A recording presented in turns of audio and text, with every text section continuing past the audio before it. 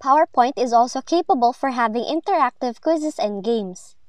Although there are templates available online, it is quite easy to do it on your own. This is because hyperlinks work on PowerPoint within your presentation. And once you have some question in mind, you can create a short quiz. In this case, here's a short true-false quiz about geography for this demonstration.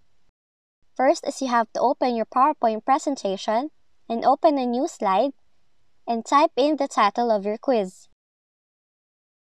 You can also add some additional information about the quiz. Add an image that will be in line with your topic by clicking on the Insert tab, then choose Pictures. Click and drag the picture to where you want it to be on the slide. Then move on to the next slide and create your question in the title box. Add reply options to your questions by going to the Insert tab and click Text box. Type in the options, which in this case it is the true or false button. Then add an image that will be in line with your topic by clicking on the Insert tab and choose Pictures.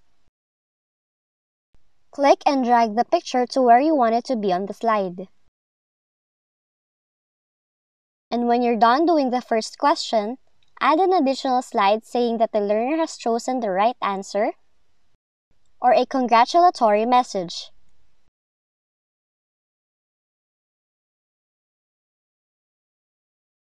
In the content box, add a phrase that will encourage students to continue the quiz.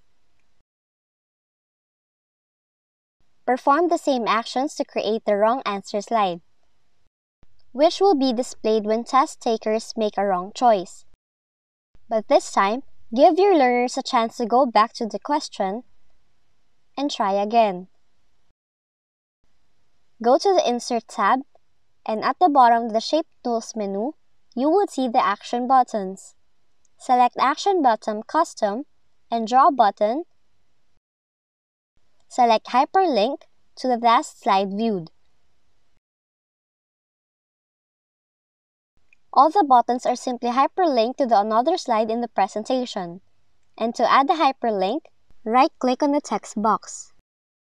In the open window, choose Place in this document and select the necessary correct or incorrect slide.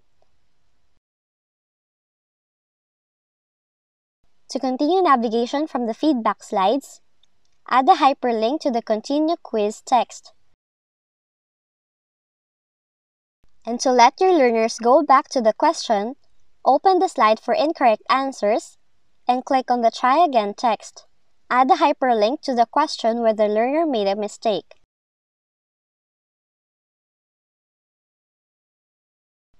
Compose the other question and answer slides for your quiz in the same way. And go on adding the correct and incorrect answer slides after each question of your PowerPoint quiz. Test your quiz to make sure it does what it's supposed to do, and keep tweaking until it does.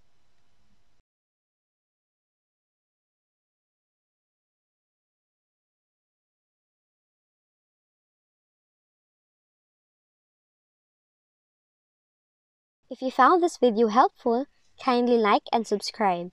You may also click and turn on the notification bell so you can be notified from whenever we release new videos.